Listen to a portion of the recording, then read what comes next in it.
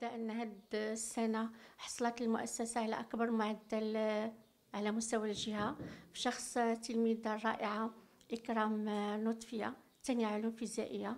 وهذا أمر ليس وليد الصدفة ولكن نتيجة لمجهودات جبارة من طرف لا التلميذة ولا الطاقم الإداري والتربوي. كذلك اللي كيدعم واللي كي يحفز التلميذة. وكذلك بدءا بالأسرة الكريمة ديال التلميذة. كاين كذلك عنصر ما نساوش ديال الدعم اللي هو جمعية الآباء أه خلال أه الحفل التميز للدورة الأولى.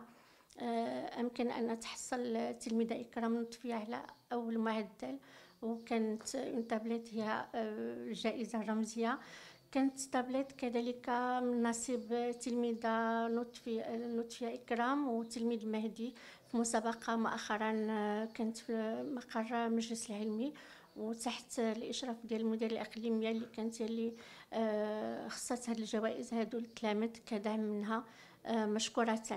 اذا النتيجة ديال إكرام لطفيه كي قلت ماشي وليده الصدفه ولكن نتيجة ديال تضافر الجهود لكل الطاقم التربوي والإداري الأسرة جمعية الآباء والمديرية الإقليمية على رأسهم.